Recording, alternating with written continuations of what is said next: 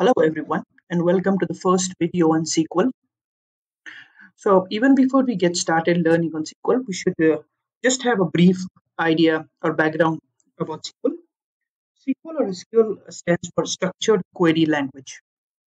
It is the standard language which is used to manage relational databases. Now don't worry if you don't know the meaning of word relational at the moment. You will get to know as we progress. In SQL, what you do is typically you write queries or SQL statements to interact with database to perform different operations. Now, what are those operations? Those are like creating databases, creating tables, dropping tables and databases. The most frequent thing you will always end up doing is extracting data from tables and doing update operations, delete operations, or insert operations. Learning SQL is fun the reason being because uh, compared to any other programming language uh, like Java, Python, or any typical programming language like C++, SQL is comparatively easy. That's what I have found because I have been working in both SQL as well as programming. So if I see and compare, the learning path is much easier as compared to programming. Although that's debatable. For some people, it might sound that okay, learning programming is much easier However, I still SQL is much easier. SQL was uh, initially developed somewhere around uh, 1970 and 1980, somewhere about that. So let us understand why you should learn SQL. If you don't know anything about SQL and you just want to begin, it's always you know good to know what is that this technology can offer you. So it's all about data wherever you see data, there are two primarily things involved.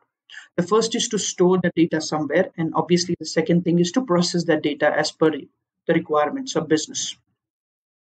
We are in a different age right now. There is massive eruption of data due to IoT, data applications, web, cloud, and many more things.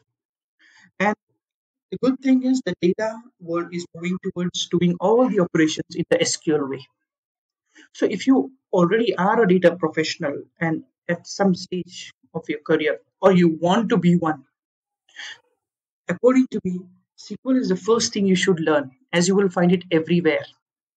So everywhere in terms of be it storing data, be it querying data, be it extracting data, and uh, other terminologies uh, like data warehousing, ETL, big data, everywhere you will see SQL has its part. So the first step in you know becoming a data professional is to learn SQL, and then maybe you can go ahead and learn any programming language like Scala or Python. Moving on, we also need to understand what are different SQL database providers around the world. So what happened is after the initial development of SQL language, different companies adopted it at that time, mainly you could just see companies like Oracle, Microsoft, IBM, etc. What they did is they adopted this SQL language, gave their own flavor and touch to it, and released their own products into the market. Oracle has been uh, the leader in relational database markets for years now, almost you could say for decades. And then obviously followed by MySQL and SQL Server by Microsoft. The good part is that you don't have to learn all of these individually.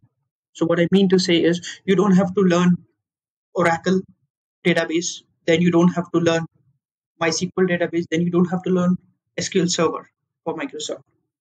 If you learn any one of them, the syntax is almost the same, almost uh, I would say 80 to 90 percent same, with few exceptions and variations in the name of functions and the way those are written. So that is one good part. So you learn SQL by taking only one database, which uh, we would be working on is SQL Server by Microsoft. And then it would benefit you tomorrow if you want to go ahead and work on a project which has Oracle or MySQL or any other database. You will not be in a, a complete alien territory because you would be already knowing most of the SQL there. The only change that is you will have to adopt is to learn those exceptions or how things are written differently. So, with all this said and done, we will progress with our first part of actual uh, learning in SQL in the next video. Thanks and stay tuned.